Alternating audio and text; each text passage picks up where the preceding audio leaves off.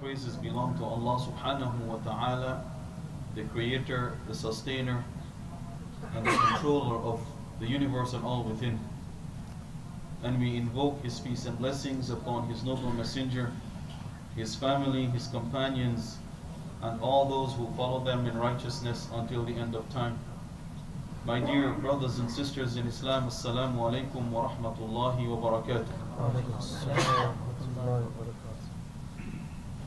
Alhamdulillah, Ramadan is, as we might say, very, very near. In fact, by next week, this time, we may be fasting or at least be in the day before Ramadan. And as promised, I want to start talking about Ramadan and the related issues. But the first thing I want to start with is fasting. What is fasting? The word saum or siyam, as we know, is the Arabic term for fasting. In the Arabic language, the word fasting or saum means to restrain or to hold back or to refrain from. So restraining yourself from anything is considered saum, fasting. There are people in some religions who abstain, they fast, and their fast is, is abstaining from salted food, for example. They eat only sweet. Or they don't eat any meat for the day or a couple of days. This is a type, this is a type of fasting because they're refraining from uh, certain things. In fact, even if you refrain from speaking, it is considered a fasting, at least from the linguistic perspective, which means to re- refrain from doing something. In fact, it was used, the word saum was used in the Quran to refer to refraining from speaking. In the story of Maryam alayhi salam and Isa alayhi salam in the Quran in Surah Maryam, this word saum is used to refer to not speaking. When Maryam alayhi salam, as is mentioned in this surah, Surah uh, Maryam, when she became pregnant, it was of course a shock to her. And when she finally gave birth, or during the process of giving birth, from the pain and so on she experienced, as Allah says, فَأَجَاءَهَا الْمَخَاضُ إِلَى جِزْعِ النَّخْلَةِ That the, the, the pains of labor, of giving birth, brought her to the, the, the, a date palm tree. قالت يا ليتني مت قبل هذا She said, I wish I had died before this. وكنت نسيا منسيا And that I would have been something that is unknown and forgotten. Perhaps the pain that she experienced made her feel that way. And maybe she was also thinking of, well, what happens next? Right? She's a pious lady who was not married, never interacted with, uh, with men per se. In fact, she was known as someone who secluded herself in devotion to God Almighty. So perhaps she was also worried about, well, now I have this baby, you know, how am I going to face the people? So when she made this statement about wishing that she had died before all of this and so on, Allah says, فَنَادَاهَا مِن تَحْتِهَا And he, and the Mufassirun have differed whether it's the baby, Jesus alayhi salam, or an angel, from under her, said to her, Allah tahzani, don't be sad. قَدْ جَعَلَ رَبُّكِ تَحْتَكِ سَرِيًّا Why? Because your Lord has provided for you a stream of water. You, you have water to drink. وَهُزِّي إِلَيْكِ بِجِذْعِ النَّخْلَةِ And shake the date palm tree. تُسَاقِطْ عَلَيْكِ رُطَبًا جَنِيًّا Fresh dates will fall for you to eat. فَكُلِي وَاشْرَبِي وَقَرِّي عَيْنًا So eat and drink and be happy. فإما ترين من البشر أحدا فقولي إني نذرت للرحمن صوما Here is the word صوم. And she's instructed if you see any human being, فَإِمَّا تَرَيِنَّ مِنَ الْبَشَرِ أَحَدًا If you see any human being, don't speak. فَقُولِ Tell them, this is all you will say to them. إِنِّي نَذَرْتُ لِلرَّحْمَنِ صَوْمًا I have vowed to the beneficent Lord to fast. Sawma. Well, what is the sawm? The verse explains it. Allah says that she is to say to them, فَلَنْ أُكَلِّمَ الْيَوْمَ إِنْسِيًّا So I'm not going to speak to any human being. When she finally came to her people with the baby, and of course they accused her initially, their initial reaction was to accuse her of committing sin, she didn't speak. Because this is the fast, this is the saum, to desist or to resist or to refrain from doing something particular, which here in this case is speaking. So instead she would point to the baby, فَأَشَارَتْ إِلَيْهِ She pointed to the baby. She's silent. And of course, the people were, were wondering, they were astonished. How can we speak to a baby who is in the cradle, as they said? And then he spoke, of course. But this is the way in which Allah subhanahu wa ta'ala protected her and, and protected her name and her dignity. That if she had tried to explain to people what had happened, that an angel came and visited her and this happened, chances are few would believe her. So Allah the exalted cleared her name in a miraculous manner. Because if she speaks, that's normal, an adult speaks. But for a child, an infant who is days or even weeks old to speak, this is miraculous. It's nothing short of a miracle. And this should have indicated to people that her story about being pregnant without having any contact with any male is not a, is not a fabrication. She's not lying. But of course, that's another story. We can talk about that. The point in mentioning all of this is so that you and I can understand that the word sawm in Arabic language means to refrain or to abstain from anything. If you make it a policy not to go to a particular store, let's say,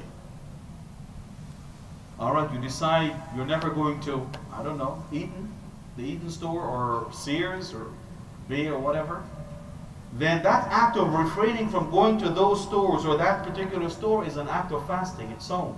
It's refraining from doing that. But in the Islamic perspective, fasting is not just the mere act of abstaining from. Remember, in the linguistic perspective, it's the mere act of abstaining from anything. In the Islamic perspective, Al-Hafidh ibn Hajar, in discussing the, the, the word sawm in his explanation of Sahih al-Bukhari, he said that the fasting is defined as imsakun makhsus, a special time of abstinence. Min shakhsin makhsus, from a special person or specific individual, not just anybody. Ala sifatin makhsusa, with special conditions. Now, if we, if we were to put this into, or translate this into, you know, language that you and I can understand, fasting basically, in the Islamic perspective, is abstaining from specific things. Food, any kind of food and drink. Or, in a more general uh, way, anything that is orally imbibed through the, through the mouth. You know, if you drink a tablet, while fasting, it will break the fast. So anything that goes down the throat, intentionally, deliberately, will break the fast. Even if you say it's not food or drink. Because most people might say, well, a tablet is not food or drink, right? So the act of eating or drinking and engaging in, in sexual relations with the spouse, and of course, some scholars add to that also abstaining from all forms of evil and immoral behavior. So fasting is abstinence from specific things. These specific things are food, drink, sexual relations, and number four, uh, immoral behavior, engaging in evil deeds or actions. في وقت مخصوص within a specific time from dawn until sunset. Not sunrise. It is from dawn until sunset. min shakhsin makhsus from a specific, specific or special person, that is the person who is Muslim. So a non-Muslim is not required to fast. Person has to be adult, not a child. Person has to be sane, not uh, having mental health issues. Because anyone who does not have complete uh, control of their mental faculties, they are not held responsible. Likewise, the child who, is, who has not hit puberty. And the person has to be a resident, not a traveler, because a traveler, you have the permission of not of choosing not to fast. So this is what fasting is defined as in Islamic perspective. Abstaining from eating, drinking, and sexual relations, and some scholars add evil deeds from dawn until sunset from the person who is Muslim, adult, and sane and resident.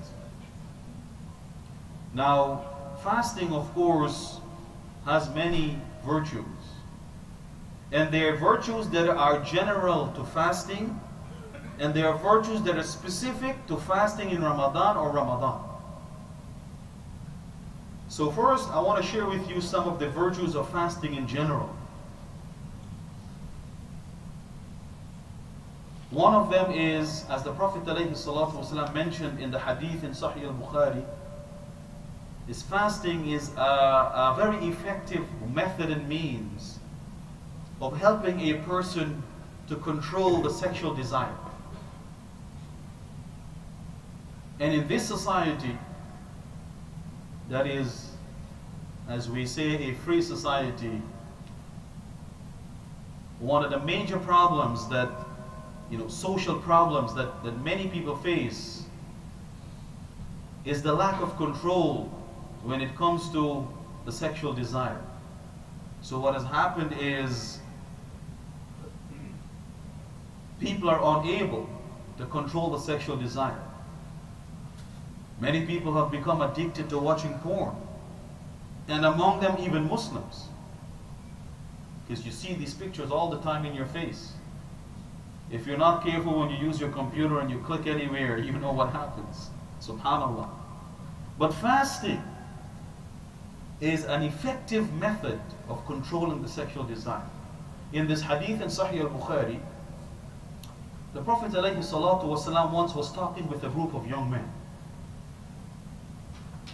And of course, for young people, especially once you're probably, I don't know, late teens, you know, maybe 18, 19, early 20s, the sexual desire is something that consumes the individual. So the Prophet spoke to them and he advised them. He said, Ya ma'ashara shabab, O group of young men, Man istata'a minkum al-ba'a. Whoever of you can afford to should get married. Don't delay. Alright, today, these days, people like to travel the world first. Because they feel that getting married and having family, a family, you know, with children will sort of buck them down, tie them down. So they want to travel and explore and see the world. and the sad thing is, most people who travel do not travel to learn lessons from what they see. They just travel because they want it to look good. Well, I've been there and done that. But in Islamic perspective, Allah has encouraged us to travel in the land, but for a different objective. In Surah Al-Hajj, Allah says, أَفَلَمْ يَسِيرُوا فِي الْأَرْضِ Do they not travel in the land? But for what objective? فَتَكُونَ لَهُمْ قُلُوبٌ يَعْقِلُونَ بِهَا أو آذان يسمعون بها but have hearts with which they can understand and ears with which they hear the lesson and the message فإنها لا تعمى الأبصار ولكن تعمى القلوب التي في الصدور Allah says for surely it's not the eyes the physical eyes that become blind but it's the hearts in the breasts that become blind so he said, "O group of young men, if you can afford to, get married. So again, affordability is important, right? The young brother needs to think about the financial responsibility that he has, excuse me, for his family. And he needs to plan accordingly. The Prophet ﷺ explained why marriage for the young person who can afford to and is ready is the best thing. He said, فَإِنَّهُ أَغَضُّ لِلْبَصَرِ وَأَحْصَنُ لِلْفَرْجِ because it is the best thing. Uh, uh, it is the best thing to help you lower your gaze. Your eyes would not roam as you walk the streets. And you know, we're into the summertime, so mashallah, people are taking off, they're undressing. Every time the temperature goes up a little bit, the clothing comes off. And it's very hard not to see. The Prophet says, you get married though, it will help you to control that urge and that desire to look around. أغض للبصر It will help you the most in lowering your gaze. وأحصن للفرج And it's the best way of protecting yourself from sin. Literally, the Prophet says it will protect your private part. Meaning it will protect you from committing sin, the sin of zina. Because now you have a halal way and means of fulfilling this desire which Allah, by the way, created. But what if a person is not able to, to, to get married? The Prophet ﷺ said, فَإِن لَمْ يَسْتَطِعْ If a person is not able to get married, فَعَلَيْهِ بِالصَّوْمِ Let him fast. فَإِنَّهُ لَهُ وِجَاء For the fasting is that means of helping him or her control the desire. So one of the benefits of virtues of fasting in general is that it is an effective method and means of controlling the sexual desire.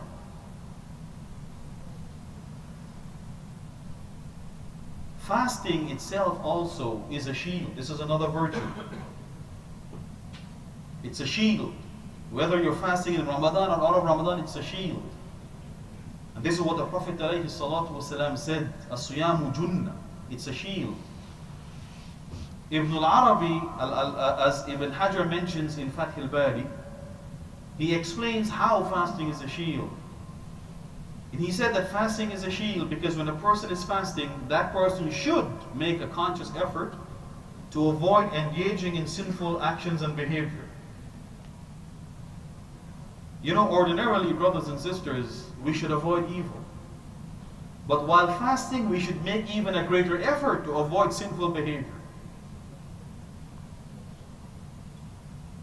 So he said, Ibn al-Arabi, he said that when a person is fasting, because he or she is more conscious or should be more conscious of Allah and makes a conscious effort to avoid sinful behaviors, then that person will now be able to resist the shahawat, the desires.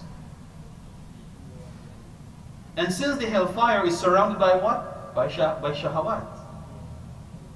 The hellfire is surrounded with desires, these desires that people uh, feel and experience. So fasting prevents a person from indulging in the desires, and the desires are uh, uh, surround the hellfire, and therefore it's a shield from the hellfire. Because the way to the hellfire is following desires. So if a person can resist the desires, then effectively that person is avoiding the things that will lead to the hellfire. Ibn Hajar also mentioned that fasting is a shield in the sense that it helps to shield a person from committing sins in the first place. Because in a hadith in Sahih al-Bukhari, the Prophet ﷺ said, if while fasting a person were to fight with you, tell them, inni sa'im, I'm fasting. The statement, right, saying to the person, I'm fasting, what does it really do for the individual? What it does is, it tells the other person, look, I am fasting. And fasting is the shield that will protect me and prevent me from behaving in an unbecoming manner as you are behaving. So the Prophet says, you tell that person who's trying to fight with you, in sa'im, I am fasting. Meaning, I'm not going to engage with you here and behave like you. Quarrel and fighting and whatever else. So fasting is a shield from unbecoming behavior. Fasting is also a means of forgiveness of our sins. In fact, fasting in Ramadan in particular is an excellent means of forgiveness, of our sins. The Prophet ﷺ said in the famous hadith in Sahih al-Bukhari, من صام رمضان إيمانا واحتسابا غفر له ما تقدم من ذنبه. Whoever fasts in Ramadan with sincere devotion, imanan, with sincere devotion, wahtisaban, hoping for a reward only from Allah, all his or her previous sins will be forgiven. Fasting, another virtue of fasting in general is it is an act of worship in which Allah about which Allah subhanahu wa ta'ala says in this hadith Qudsi in Sahih al-Bukhari as well Allah the Exalted said that all the actions that a human being does are for himself except fasting. It is for me and I will reward it. Now what's interesting here is that as Muslims we understand that everything we do should be for the sake of Allah subhanahu wa ta'ala. So why in this hadith Allah the Exalted specializes fasting and says, look, everything else is for himself except fasting. Well, Ibn Hajar has, has commented on this as well, mashallah. And he said that there are two reasons for this. One, fasting is an ibadah in which a person deprives himself or herself from following desires. You're giving up pleasures. While in the other ibadat, this is not the case. You're not depriving yourself from pleasures. Because while fasting, we're not eating and drinking two most common desires. That's why many non-Muslims find it hard to understand the concept of fasting. How do you people fast the whole day and you don't eat and drink? And of course, while fasting, we're, we're also supposed to abstain from sexual activity, in particular sexual relations with the spouse. And that, of course, is indulgence in, in desires. So he said that fasting is an ibadah that dictates that the individual, in order to perform this ibadah properly and correctly, he or she has to deprive himself of indulgence in certain things that are pleasurable. And, and, and this is the nature of human beings, to indulge in that which is pleasurable. If an activity brings you pain, you don't in, in, in, engage in it. You want to avoid it.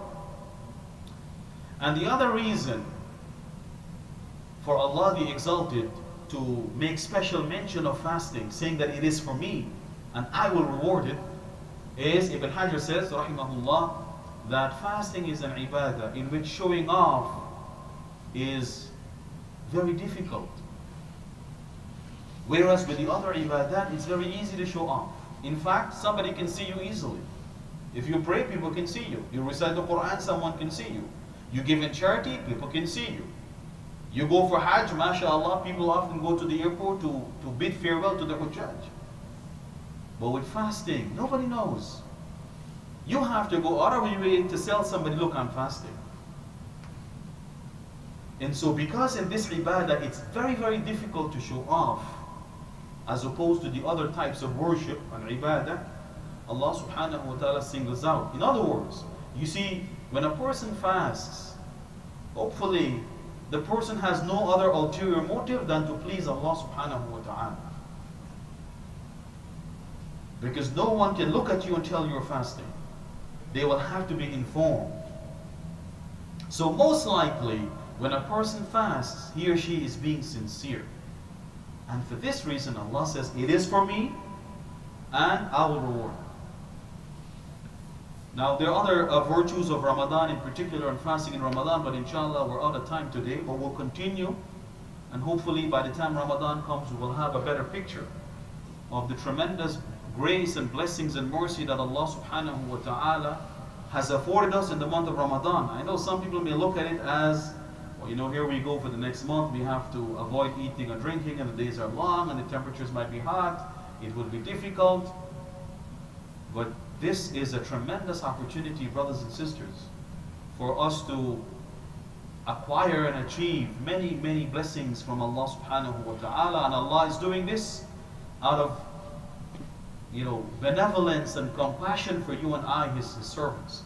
So once we understand these things, then inshallah, as we fast in Ramadan, we can strive with the awareness we can strive to achieve these things so that when Ramadan ends, hopefully we would have achieved all these great blessings as opposed to simply, you know, going through hunger and thirst every day for 29 or 30 days. So may Allah subhanahu wa ta'ala bless all of us. May He open our hearts and our minds so that we can understand this message He has revealed for mankind. And may He inspire us all to live by this message. May Allah subhanahu wa ta'ala make fasting not only easy for us in this Ramadan, but easy for us and all Muslims, and also may He accept it from us. And may He guide us to fast in a way and a manner that is pleasing to Him. May Allah subhanahu wa ta'ala help us to nurture a higher consciousness and awareness of Him in our hearts as we fast in this Ramadan, so that when Ramadan ends, we will continue to be conscious and, and, and mindful of Allah subhanahu wa ta'ala. أقول قولي هذا وأستغفر الله لي ولكم والسلام عليكم ورحمة الله وبركاته. Alright.